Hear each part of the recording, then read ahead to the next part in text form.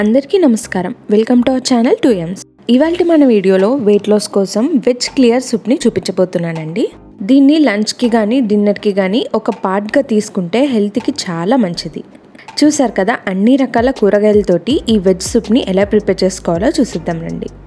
ముందుగా మనం అన్ని కూరగాయలు రెడీ పెట్టుకోవాలి. ఇక్కడైతే నేను తోలు తీసేసిన టమాటాలు తీసుకున్నాను. తర్వాత సగం బంగాళదుంప తోలు తీసి కట్ చేసిన ముక్కలు అలాగే క్యారెట్ని కూడా తోలు తీసేసి చిన్న చిన్న ముక్కలుగా కట్ చేసుకో నెక్స్ట్ ఇక్కడ హాఫ్ ఇంచ్ లాగా బీన్స్ని కట్ చేసుకున్నాను.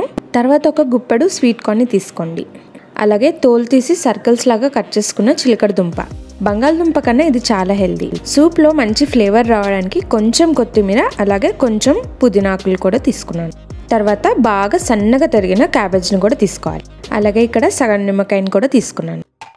ఇప్పుడు పొయ్యి వెలిగించి ఏదన్నా ఒక గిన్నెని కానీ కడాయిని కానీ పెట్టుకొని ఇందాక చెప్పిన కూరగాయలన్నిటిని వేసి హాఫ్ లీటర్ వరకు వాటర్ని పోసుకోవాలి. ఇప్పుడు పావు teaspoon black pepper powder అలాగే ఒక చిటికెడు పిజ్జా అరగొనని వేసుకోవాలి. ఇప్పుడు రుచికి సరిపడా సాల్ట్ని వేసి హై ఫ్లేమ్లో బాగా మరిగించండి. ఇలా బబుల్స్ వస్తున్నప్పుడు సగం ఉల్లిపాయ సన్నని తరిగి వేసి హై ఫ్లేమ్లో బాగా మరిగించండి. ఇలా గిన్నె చుట్టూ ఏర్పడిన నురిగిన్నెనైతే తీసేసేయండి.